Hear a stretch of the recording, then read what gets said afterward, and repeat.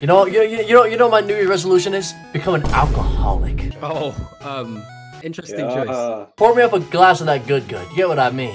Glass that good. Hey. I. That good good. You do me right, brother. Do me right. You know New Year's resolutions only last three months, though. Exactly. So then, then I gotta become a drug addict after the three months. You get what I mean? I don't trust me. I, I have it all planned. I have it all planned. Alright, alright, try this to start you off. Okay, okay, that cold strike. Okay, I like the name of it, buddy. This thing. Oh, this thing is hit. Oh my goodness. Yeah, take that. Take that one on the left. Okay, this one, the bite of '87. Yeah. It has a bite to it. Oh, take me back to '87. Ah! Ah!